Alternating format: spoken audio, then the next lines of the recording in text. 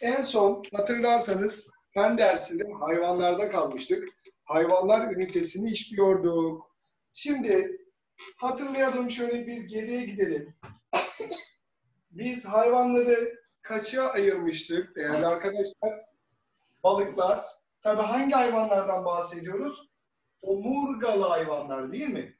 Bir iç iskeleti olan gruptan bahsediyoruz. Buradaki omurgalı hayvanlarımıza Cüneyt'i de alalım derse.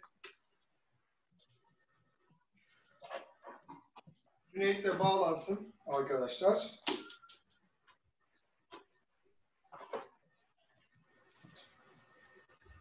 Evet. Cüneyt'ciğim hoş geldin. Nasılsın? Ya şey aç. İyi misin? Cüneyt yanındaki Eray mı? Efendim hocam? Mı var yanında? Yok annem vardı. Ya bir şey dedi hemen gitti. Tamam sorun yok. Evet güzel. Seni görmek ve sesini duymak çok iyi. Evet arkadaşlar omurgalı hayvanları tekrar bir hatırlayalım. Bakın balıklarımız vardı. Sonra kurbağalar grubumuz vardı. Sonra sürüngenler grubumuz vardı. Sonra kuşlarımız vardı. Sonra da memeli hayvanlar vardı değil mi? Biz sizlerle en son memelileri işlemiş miydik? Evet. Evet, memelileri işlemiştik. Arkadaşlar hatırlayın, balıklarda bir iki istisna vardı. Kim balık e, balıklar grubunda değildi arkadaşlar? Yunus. Yunus balık değildir, balıklar grubunda değildir. Memelilerdendir. Başka ne vardı? Alina. Balina vardı, çok güzel. Bir de foklar var değil mi? Foklar. Fok ve morslar da yine balık zannedebiliriz ama balık değildi. Peki yine arkadaşlar balık gibi olup gagası olan bir hayvan vardı memeli. Neydi? Turenk. Turenk diye bir hayvanımız vardı hatırladınız mı? Gagalı ama memeliydi. Tek gagalı memelimiz Turenk'ti arkadaşlar. Bunu da söylemiş olalım. Evet bakın ornitorenk dediğimiz şu hayvan gördük mü? Memeliler grubunda gagası var. Bakın kuyruğu var. İlginç bir hayvan.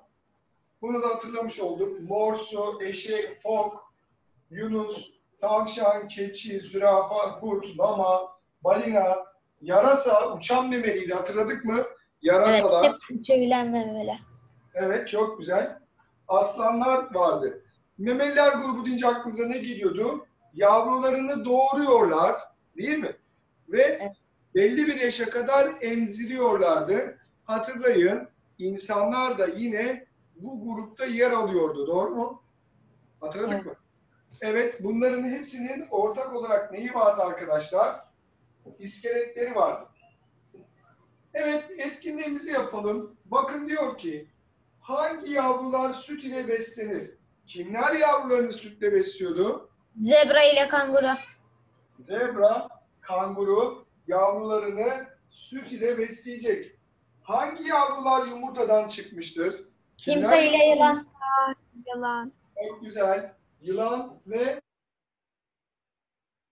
yumurtlar.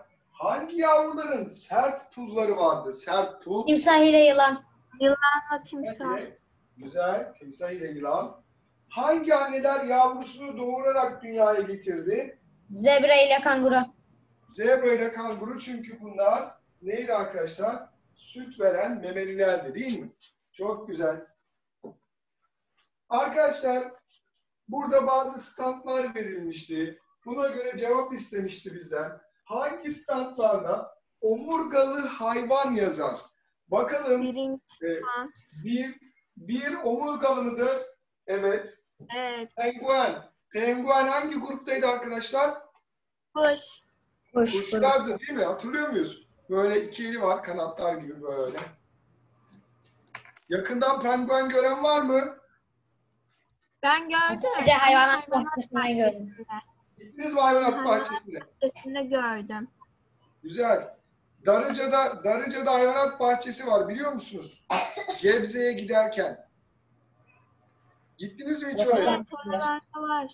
Ben bilmiyorum hocam. Ben nereye gittiğimi bilmiyorum. Ama çok ormanlık. Ormanlık bir alandı. Çok yeşillik vardı. Evet, Eymen, Darıca yakın size. Sen gittin mi? Nereye? Hayvan. Darıca Hayvanat Bahçesi'ne.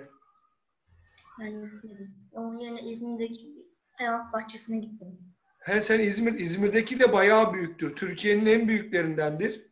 Gaziantep'te var. Arkadaşlar eğer vaktiniz olursa annenizle babanızla Darıca Hayvanat Bahçesi'ne mutlaka gidin. Neler görürsünüz? Aslan görürsünüz, kaplan görürsünüz, penguen görürsünüz, Leopar. leopar görürsünüz, zürafa, zebra görebilirsiniz. Çok güzel bir hafta sonu etkinliği olabilir. Deve görebilirsiniz. Eşek, inek, lama, deve kuşu. Bunların hepsini görebilirsiniz arkadaşlar. Çok zevkli oluyor. Öneririm. Kesinlikle şu havalar da güzelken e, hafta sonu olur, hafta içi olur. Annenize, babanıza söyleyin. Mutlaka bir hayvanat bahçesi gezin. Tavsiye ederim arkadaşlar. Evet güzel. Hangi standlar omurgalıydı? Evet penguen omurgalı. İkinci standdaki morsumuz omurgalı. Beşinci standdaki zürafamız omurgalı. Altıncı standdaki papağanlarımız da yine omurgalı hayvanlar. Hangi standlarda omurgasız yazılmıştır? E tabii ki bunun dışında kalan ahtapotumuz ve Yengeç. yengeçimiz ne olacak arkadaşlar? Bunlar omurgasız hayvanlardır. Ya hocam ama yengeç sert. Arkadaşlar o sert olan kabuğudur. İskeleti yoktur. Ahtapotun zaten iskeleti yok değil mi? Kollar nasıl ahtapotta? Böyle iskelet var mı? Yok. Değil mi? Güzel. Evet arkadaşlar devam edelim. Hangi statlarda yumurtlayarak çoğalır yazılmıştır? Kimler yumurtluyor? Ee, birinci Penguen. Birinci stand ve altıncı stand. Evet güzel ama bakın dikkat arkadaşlar memeli olmayanları bulacağız.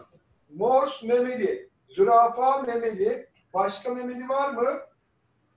Arkadaşlar yok. O zaman penguen, yengeç, yengeç de yumurtlar. Bakın memelilerin dışındaki canlılar yumurtayla çoğalırlar. Bunu bir yere not edebilirsiniz. Sadece memeliler doğum yaparlar. Tamam? Tamam. Diğerleri yumurtayla çoğalırlar arkadaşlar. Dolayısıyla 1, 3, 4 ve 6 olacak. Hangi standlarda canlı grubu olarak kuşlar yazar? Kimler kuş? Birinci stand ve altıncı stand. Güzel. 1 ve 6'da kuşlar yazacak hayvanat bahçesine gidersek. Hangi standlarda memeliler yazar arkadaşlar? E, be- beş, dört, yok. Beş, Evet. Beş Başka? ve ikinci stand. Evet arkadaşlar bu, bu Morse'tu. Morse da memelidir. 2 ve 5 olacak. Gayet güzel. Bakın ekranlar açık. Sesler güzel güzel gelirken ne güzel ders işleniyor. Harikasınız. Hadi bakalım devam edelim. Evet. Okyanus dibinde yaşayan canlılardan bazıları gösterilmiş bize. Sorular şunlarmış. Şekildeki hangi canlı grubuna ait örnekler var? Ne görüyoruz arkadaşlar burada şekilde? Ee, e, Balık, balık grubu. balık, Balıklar var. Omurgalı. mercanlar, mercanlar, yıl- Mercanlar, ay, deniz yıldızları. yıldızları, sünger. Sünger, sünger de var değil mi şurada sünger? Arkadaşlar hatırlayın süngerler, mercanlar, deniz yıldızları, mürekkep balıkları bunlar hep neydi? Omurgasızdı doğru mu? Peki balıklarımız neydi? Omurgalıydı. Dolayısıyla arkadaşlar hayvanlara ait örnek var. Hem omurgalı hem omurgasız. Peki omurgasızlar kimler? Arkadaşlar sünger, Mürekkep balığı, sünger ve deniz yıldızı. mürekkep balığı, balık diyoruz ama gerçekte balık değil. Deniz yıldızları. Doğru mu? Evet. Peki en gelişmişleri kim arkadaşlar bunların? Balıklar. Balıklar güzel. En gelişmişleri balıklardır. Buna dikkat edelim. Süpersiniz.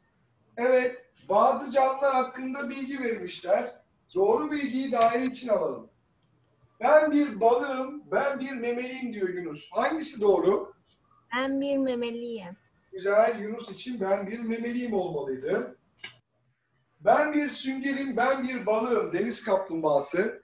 Ben bir Ben balığım. bir balığım. Dikkat, deniz kaplumbağası. Ben bir sürüngenim. Evet arkadaşlar, kaplumbağa denizde de olsa sürüngendir. Yani kara kaplumbağası ile deniz kaplumbağası olması kafamızı karıştırmasın. Denizde yüzebilmesi o kaplumbağaya eklenmiş ek bir özelliktir. Yoksa o yine denizden çıkar ve sürünür. Tamam mı? Tamam hocam. Pekala. Yarasa ben bir kuşum ben bir memeliyim diyor. Ben bir memeliyim. Ben bir memeliyim doğru olacak değil mi? Yarasa kuş değildi. Evet. Ben bir sürüngenim, ben bir omurgasızım diyor. Ben bir sürüngenim. Ben bir dikkat. omurgasızım. Yarasa, Ben bir omurgasızım. e, solun, solucan omurgasız canlıdır. Sürüngenler omurgalı canlılardır. Kimler sür, sürüngendi? Timsahlar, değil mi? Sonra kaplumbağalar, sonra yılanlar. Doğru mu arkadaşlar? Dolayısıyla bu bir omurgasız. Peki Eymen deve kuşu bir kuş mu bir memeli mi? Eymen. Ben bir kuşum. Eymen'e sordum dur. Ne hocam? Kuş. Kuş değil mi? E çünkü deve kuşu ne yapar? Şey memeliyim işaretliyorum ya. Kuşun. Ne yapar deve kuşu? Yumurta yapar. Deve kuşu yumurtasını biliyor muyuz? Evet. Evet. Kocaman olur. Evet, o zaman size bir bilgi vereyim mi? evet. Arkadaşlar, dünyadaki en büyük hücre, tek hücre olarak, tek hücre olarak en büyük hücre kimmiş? Deve kuşu yumurtasıymış. Deve kuşu yumurtası sadece bir tanecik hücreymiş. Şimdi düşün, bizde trilyonlarca hücre var değil mi? Hı hı. Ya o kadar küçük bir şey hücre. Bir de deve kuşunun yumurtasını düşün. Kocaman. O da bir hücre, senin hücren de bir hücre. Demek ki dünyadaki en büyük hücreyi size sorarlarsa ne diyecek misiniz? Bilinen Deve kuşu. deve kuşu yumurtası. İlginç. Evet. Ahmet Cüneyt, penguen bir kuş mu, bir balık mı? Ben bir kuşum. Yani kuş. Güzel. Bir kuştur. Değil mi arkadaşlar? Penguenler gagası vardır. Güzel. Vücutları kıllarla kaplı olanlar kimlerdi? Balık, kurbağa, sürüngen, kuş ve memeli. Hangisiydi? Kurbağalar, sürüngenler. Dikkat. Kıl diyoruz. Kıl. Tüy. Kıl. Pul değil. Kıl. Arkadaşlar kimler kıllarla kaplı? Kuşlar. Hayır onlar tüy. Kıl değil. He. Memeliler. Memeliler. Aferin. Memeliler doğru cevap. İnsan da bir memelidir ve kılları vardır değil mi? Kolumuzda kıl yok mu? Saçımız kıl değil mi? Kaşlarımız, kipriklerimiz, sakal olanların sakalı, bıyığı olanların bıyığı bunlar kıldır arkadaşlar ve memelilerdir. Sadece insan mı? Filler değil mi? Başka kimler var? Ayılar, maymunlar değil mi? Baya. Evet. baya. Yüzgeçleriyle hareket ederler. Yüzgeçleri olanlar kimler? Balıklar. Evet, güzel, harikasınız. Balıklar. Yumurtlayanlar kimlerdi yumurtlayanlar? Kuşlar. Kurbağalar, sürüngenler. Bir de Balıklar. memelilerin dışındakilerin hepsi yumurtayla çoğalır. Balıklar da yumurtlar. Hiç akvaryumda balık besleyen var mı? Hayır. Ee, o zaman Eymen bilir. Eymen balıklar doğuracağı zaman bir sürü yumurta bırakıyorlar suya. Doğru mu? Gördün mü hiç? Balık çoğalttın mı? Balık çoğaltırsanız arkadaşlar akvaryumun içine özel bir şey koyuyorsunuz. O balıkların yumurtasını oraya topluyorsunuz. Böylece bir müddet sonra yumurtadan balıklar çıkıyor. Koyduğunuz küçük kutunun içinde böyle bıkıl bıkıl bıkıl bıkıl hareket etmeye başlıyorlar. Tamam. Balıklar da yumurtlar. Vücudu sert pullarla kaplı. Sert. Kim? Sürüngenler. Aferin. Kurbağalar. Karıştırmayın. Sürüngenler olacak. Yavrularını sütle beslerler. Kuşlar. A. Hı. Memeliler. Mö. Mö. E mö. İnek. Mö. İnek. İnek hangi grupta? Memeli. Memeli. Memeliler. Yavrularını sütle besleyenler memeliler. Kuşlar nasıl besler? Nasıl? Evet, fil de memelidir. Arkadaşlar, kuşlar nasıl besliyor biliyor musunuz? Nasıl oldu? Önce yemeği kendi ağızlarına alıyorlar. Çiğniyorlar. Ay. Sonra da yavrusunun ağzına kusuyorlar. Evet. evet. Hocam. Evet, evet. Evet, kuşlar yavruları çok küçükken böyle beslerler. Alırlar, onu çiğnerler, çiğnerler, yavrunun ağzına bırakıverirler. Sonra yavru biraz büyüyünce kendisi zaten doğadan toplamaya başlar. Anlaştık mı? Anlaştık. Hocam. Hani kuş sütü derler ya, o bir tabirdir yani kuşun sütü olmaz. Hani derler ya bu sofrada bir kuş sütü eksik. Niye? Çünkü kuşun sütü olmaz. Yani olamayacak her şeyin dışında olabilecek her şey varmış Var. değerli arkadaşlar. Evet. Devam edin. İç iskeletleri vardır. Kimlerin iç iskeleti vardır? Balıklar. Memeliler. Kurbağalar. Balıklar. Arkadaşlar bunların hepsinin iç iskeleti vardır. Çünkü bunların hepsi omurgalı canlılardı. Doğru mu? Evet hocam. Omurgalı canlılar 5 gruba ayrılıyordu. Bu 5 grupta burada vardı değerli arkadaşlar.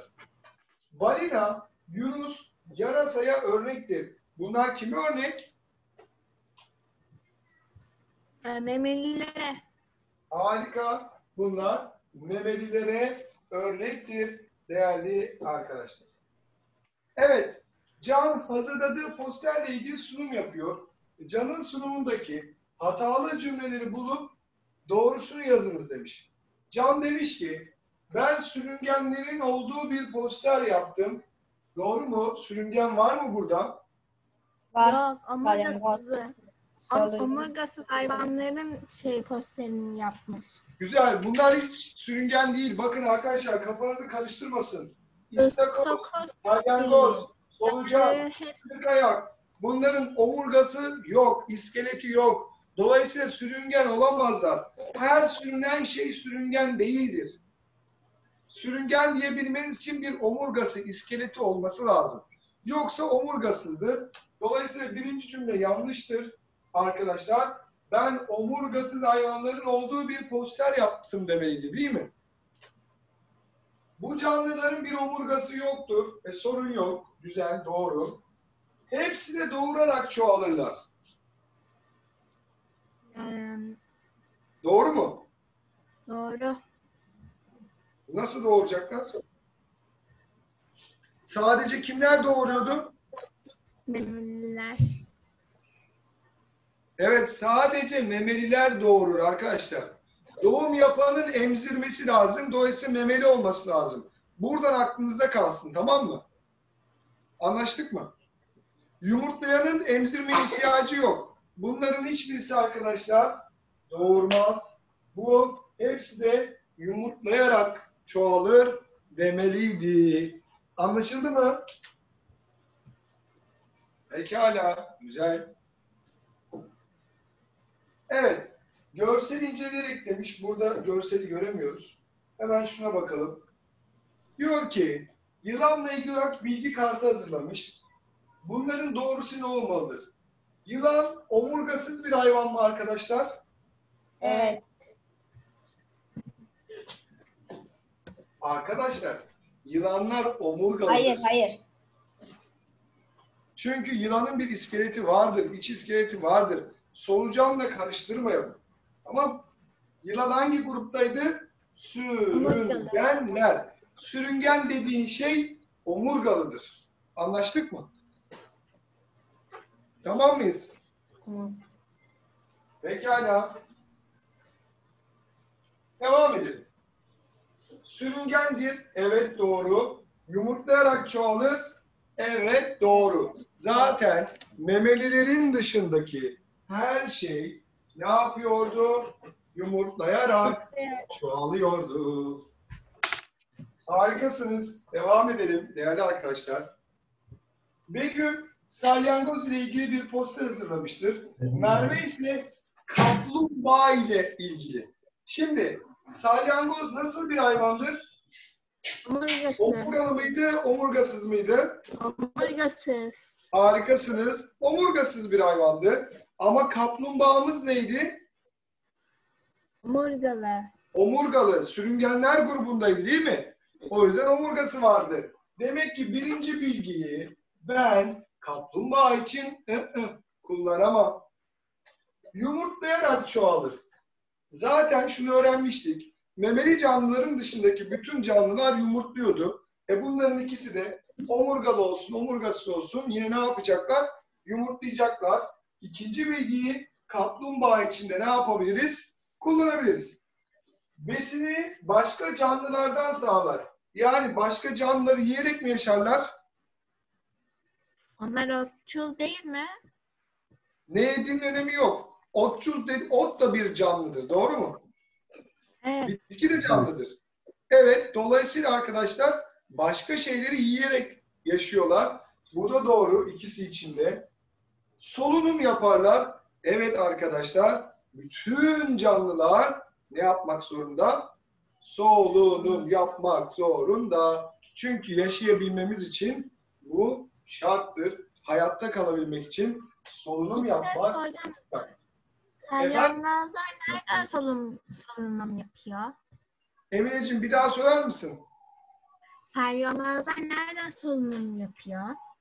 Onlar derileriyle sorunum yaparlar. Deri. Derilerinden. Tamam? Evet. Taner, kuşlar ve memelilerle ilgili şekildeki posterleri hazırlıyor. Öğretmeni posterlerinde hata var diyor. Bunu düzeltmek için ne yapması lazım? Bakın kuşların içine yanlış bir şey sokmuş. Neyi sokmuş? Yarasa. Evet.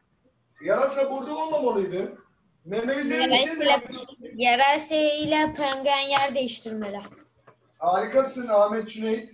Bunların ikisi yer değiştirmeli değil mi arkadaşlar?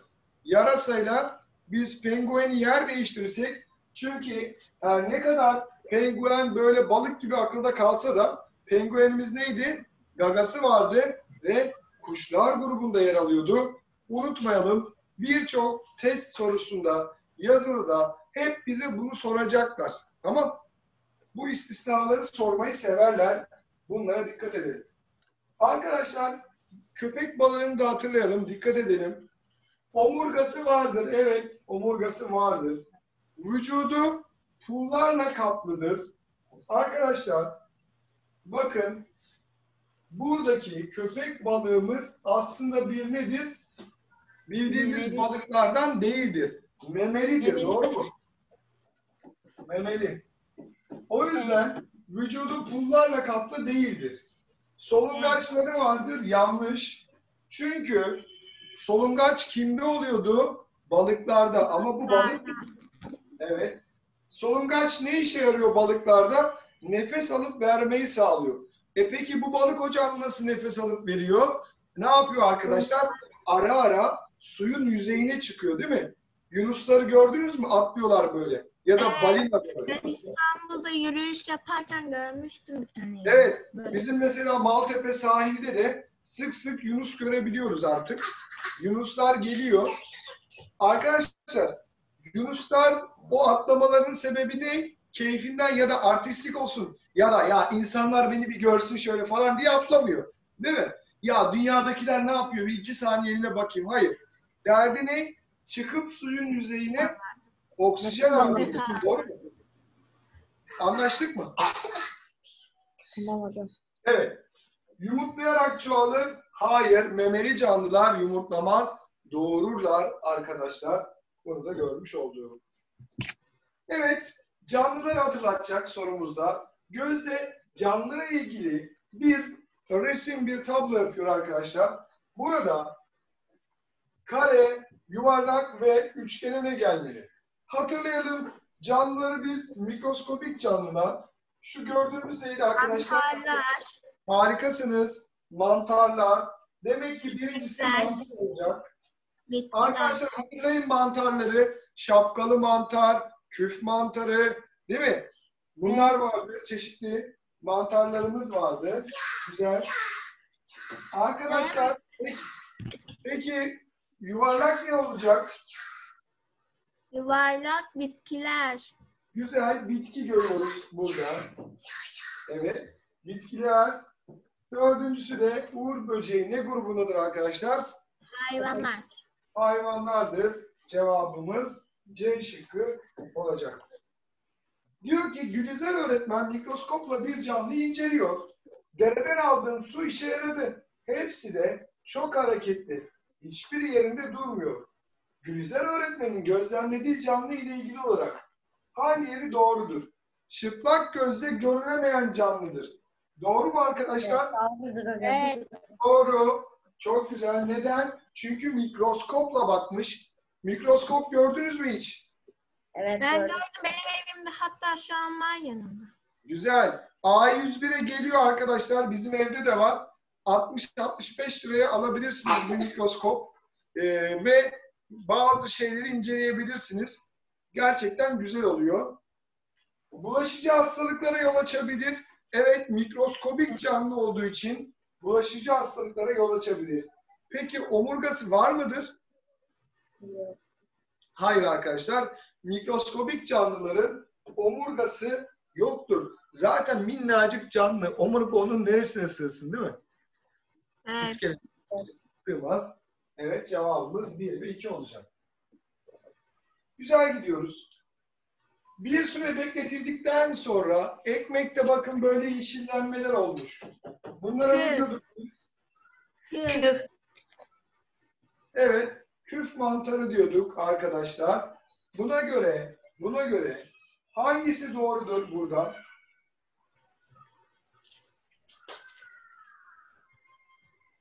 Okuyun bakalım.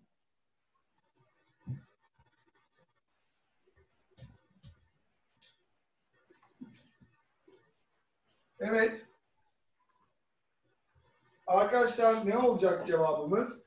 Bu bu bakın canlılar bizim mantarlarımız besinleri ne yapabilir? Bozabilir değil mi? Şu yeşil yeşil olan ekmek yenir mi arkadaşlar? Yenmez, Yenmez. Yersen hasta olma ihtimalin yüksek. Ya da Okey. zehirlenmeyse. Zehirlenebilirsin, hasta olabilirsin. Dikkat. Evet. Çok sevimli bir canlı.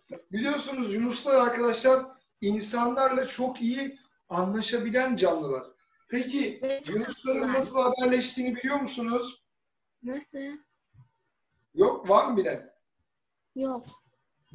Arkadaşlar yunuslar birbirleriyle elektriksel titreşimlerle haberleşirler. Suya yaydıkları şu kafaların ucundan dalga yayarlar, elektriksel dalgalar. Bu elektriksel dalgalarla yaklaşık 3-4 kilometre uzağındaki canlılarla yani yunuslarla haberleşebilirler. Düşünsene zihninden düşünüyor, hadi bugün bize oturmaya gel, diğer yunusu çağırıyor falan. İlginç. Evet arkadaşlar telepati diyoruz. Hani telepati diyoruz ya. Böyle olduğumuz yerden biriyle konuşmak. Evet Yunuslar telepatiyle anlaşıyorlar arkadaşlar. Ne kadar ilginç değil mi? Devam edelim.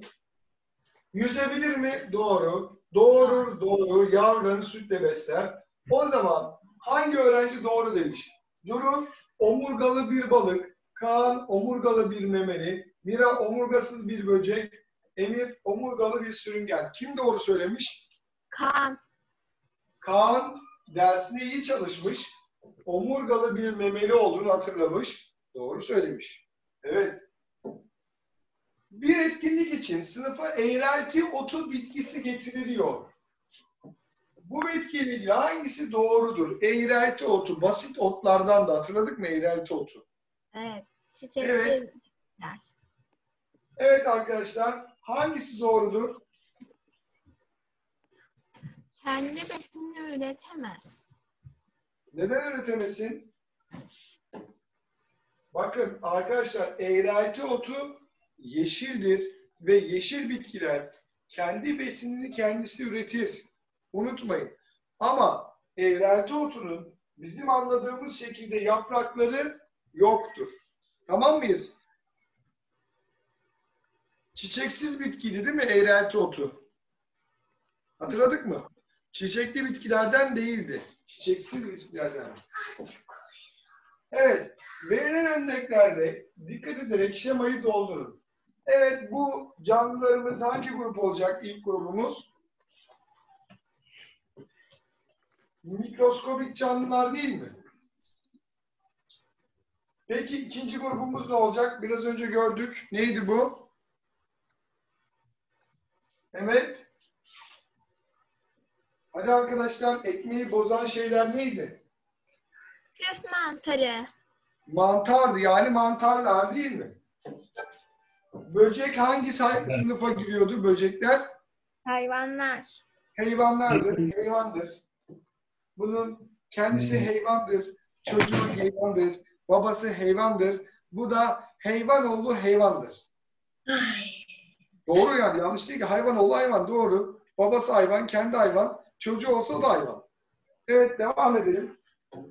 Bu ne olacak arkadaşlar? Evet sonuncumuz ne? Ahmet Cüneyt. Bitki. Bitki Ahmet Cüneyt dersten düştü. Güzel. Arkadaşlar doğrulara D, yanlışlara Y koyalım diyorlar. Hadi yapalım. Mikroskobik canlılar gözle görülür mü? Yanlış. Yanlış. O zaman mikroskoba ne ihtiyaç var? Devam ediyoruz sevgili dostlar. Bakteriler, amip, öglena, mikroskobik canlılara örnek verilebilir. Doğru mu? Doğru. Evet, güzel. Bütün bakteriler zararlı mıydı? Yo, bazıları bazı kazandırır. Evet, arkadaşlar hatırlayın bağırsaklarımızdaki bazı bakteriler iyi bakterilerdi. Hatırladık mı? Ve arkadaşlar bazen o bakteriler azalırsa bağırsaklarımız ne oluyor? Bozuluyor. Onun adı neydi? İshal olmak dediğimiz olay var ya. O bakterilerin bozulması. Hatta sen öyle bir hasta olursan doktor sana ne veriyor? Pakette toz veriyor. O tozun içinde ne var Eymen? Bakteri. Suya bakteriyi döküyorsun, içiyorsun. Ya ya, iğrenç. Yok. İğrenç falan değilim. Bakteri ihtiyacım var. Bütün bakteriler kötü değil. Tamam Onların mı? yedi- yedisi çıktı. Suya dökülmeyenleri çıktı. Su hazırları çıktı. Öyle mi? Evet. Evet. Çok Evet. pahalı ama ya. O bakteriyi almak istersen 60-70 lira para vermen lazım. Az değil ha. Düşün Evet. vücuduna bakteri eklemek için para veriyorsun. Bana biraz bakteri versene abi. Eczacıya gidiyorsun. Abi işte o yüzden bakteri değil mi? Onun adına ne diyorlar? Ad- Bir isim koymuşlar. Ondan istiyoruz. Evet. Devam. Sütten bir oluşumunda bakteriler etkili miydi arkadaşlar? Aynen. Hatırlayın Öğretmenim. annelerimiz evde. Buyur Eymen'cim. Öğretmenim bir şey sorabilir miyim? Tabii Eymen buyur. Şey vardı ya işte. Hani böyle bakteri var ya. Küçükken böyle ben bakteri şey böyle içmiyordum da onun yerine böyle bir antibiyotik veriyorlardı böyle ishal olunca. He, antibiyotikler de Eymen bakterilerin düşmanı. Savaşıyorlar onlarla. Mesela boğazımız hasta olduğunda zararlı bakteriler orayı kapladığında doktor bize ne veriyor? Antibiyotik değil mi? Evet o antibiyotikler de ne yapıyor? O bakterilerin üstesinden geliyor. Onları yok ediyor. Ama reçetesiz antibiyotik kullanmak zararlı. Tabii bilinçsiz şekilde kullanmamamız lazım. Doktor verirse. Çünkü bazı hastalıklar bakteri değil virüslü oluyor. O yüzden antibiyotik de kullansa işe yaramıyor. Mesela koronavirüs bir virüs olduğu için antibiyotikle ne yapamıyoruz onu? Yenemiyoruz. Doğru mu? Evet. Pekala. Rusya'da bulunmuş diyorlar. Aşısı. Arkadaşlar daha net değil. E, çünkü biliyorsunuz bu aşıyı ben buldum deyince bulunmuyor. Aşılarla ilgili çok ciddi çalışma yapılması lazım. Çünkü aşıların yan etkileri olabilir. Bu yan etkiler bugünden yarına çıkmaz. Bir yıl sonra çıkar, iki yıl sonra çıkar. O yüzden aşıları çok ciddi manada deneyerek gitmeleri lazım.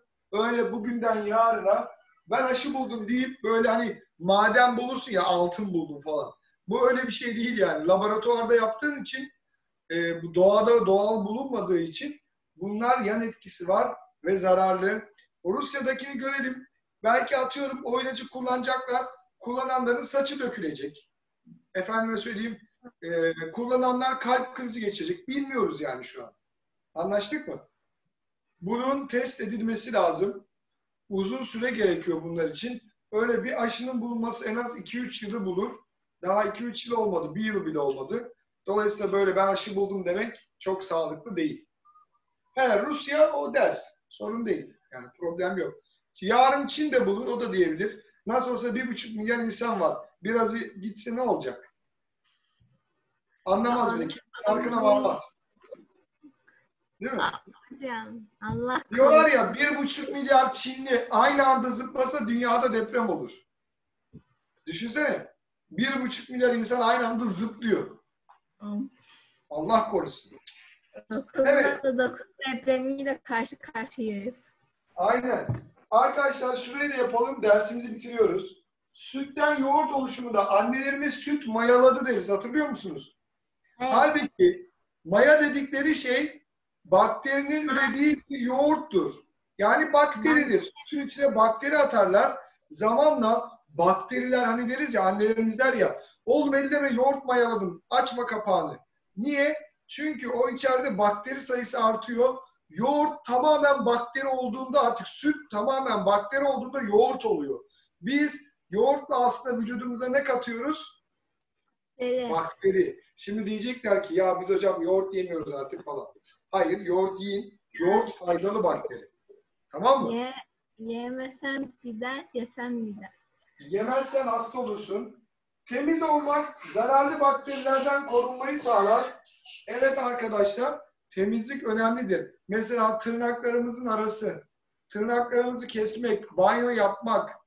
Arkadaşlar bir tane adam böyle bir şey yapmış. Bir yıl banyo yapmasan ne olur? Bir yıl banyo yapmasan ne olur diye bir şey yapamazsın. Çünkü daha bir iki hafta banyo yapmazsan vücudun kaşınmaya başlar. Bakteriler seni mahveder. Dolayısıyla arkadaşlar böyle bir şey e, mümkün değil. Evet, bugünkü dersimizin Şey sonuna geldik. Yarın İngilizce dersinde olacaksınız. Tamam mı? Aynı saatte İngilizce dersimiz olacak. Sonra pazartesi yine dersimize devam edeceğiz. Kendinize iyi bakın. Görüşmek üzere arkadaşlar. Baba ben seni dinledim.